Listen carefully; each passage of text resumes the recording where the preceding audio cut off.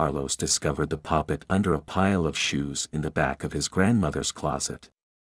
Although covered in years of dust and grime, the herbs inside gave off a mephitic odor that was amazingly pungent.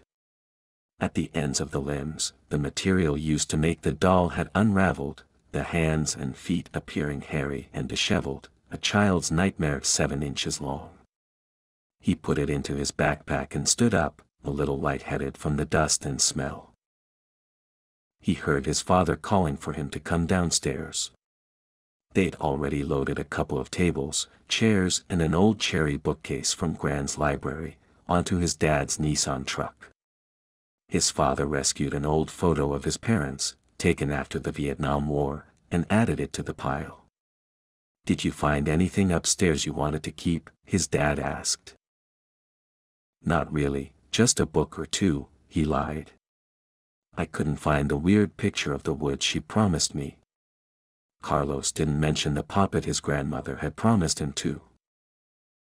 Well, she always indulged your weirdness, didn't she?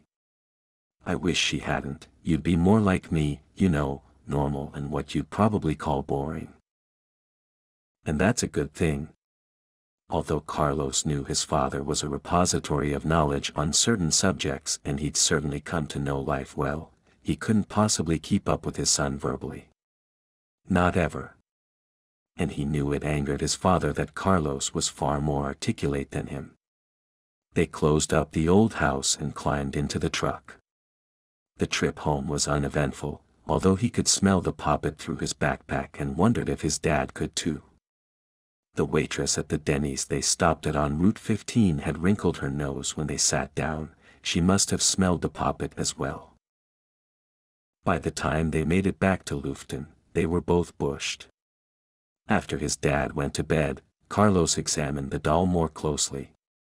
It was obviously quite old, the facsimile of a human artfully created by weaving coarse brown and yellow cloth through sticks and grass fibers to form the appendages and torso.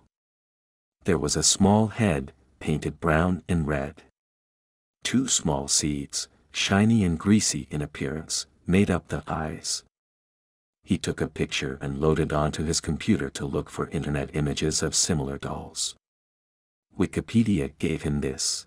In folk magic and witchcraft, a poppet, also known as a poppit, is a doll made to represent a person, for casting spells on that person or to aid that person through magic. These dolls may be fashioned from such materials as a carved root, grain or corn shafts, fruit, paper, wax, a potato, clay, branches, or cloth stuffed with herbs with the intent that any actions performed upon the effigy will be transferred to the subject based on sympathetic magic. The next day, after school, he stopped by the New Age store downtown to see if he could find more information about the doll. He almost brought it with him to school, but something told him to leave it at home, safely hidden under his bed. The odor of patchouli and lavender greeting him upon entering the store. May I help you, young man? The middle-aged woman behind the counter was arranging crystals and small, cheap bracelets covered in gemstones. Soft flute music played in the background. I was wondering if you could tell me anything about poppets. His voice sounded nervous and high-pitched. He needed to act cool. He was not a child and didn't want her to treat him as one. Well, poppets can transfer both good and bad magic.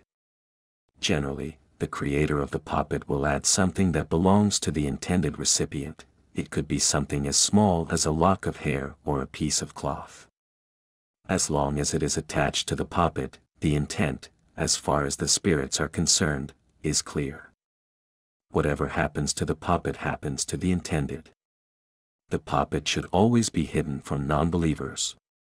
He thanked her and left before she had any questions he didn't want to answer. He had a lot to think about on his walk home decisions were settled for him the next day. He was late to his trig class on Tuesday and Mr. Mortimer, always one to pounce on a teenage victim, let him have it. Late again Vega. That's you isn't it, late for school, late for class, late for life. You'll be left behind before you know it. I've learned a lot about you from fishing with your dad. He wanted a son better than you, he wanted a son that's athletic, smart and good looking. Instead he got you. Pathetic. Carlos flashed red, not with embarrassment so much as rage. How dare old Mort mention all this in front of this class of jocks, weirdos, and losers. He imagined these two sad fishing buddies discussing his faults while getting drunk on the pier. Unbelievable.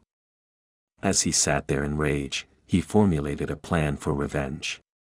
Old Mort left him alone after that and Carlos was slow to leave the trig class.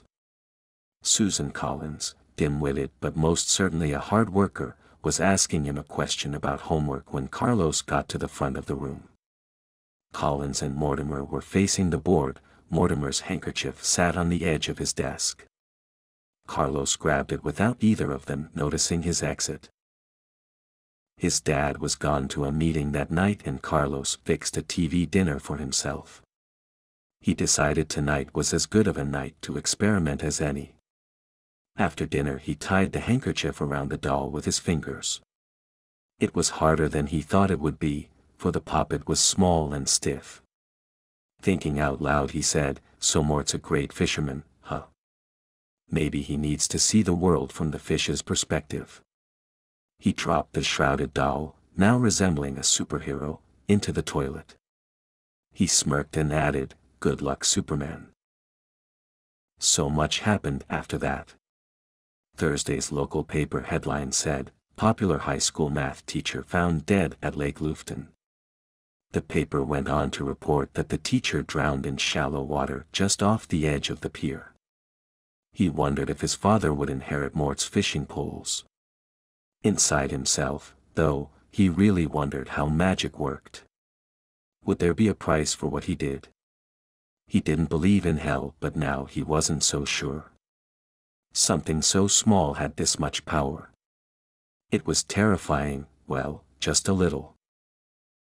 Friday night, his dad, now a little drunk on Carlsbergs, asked him some questions while they were watching Grimm. Have you heard anything about Mr. Mortimer's death at school? What do the kids think? That that asshole deserved it. What a prick. The beer can just missed his head for his dad's name wasn't there after five beers. Don't you ever talk about him that way again. He wanted to fix you, fix you right, just like I do. Don't worry about it, Dad, we'll never speak of him again. At that, Carlos picked up the can and left for his bedroom. On his way up the stairs, moonlight entering the living room window made it seem almost pretty, not the tragic, tacky room it appeared during the day. He could have a good life, he just needed to plan for it. He decided, as he climbed up the last steps, he'd visit his dad's tackle box this weekend. Maybe he'd find something fun to stick on the poppet.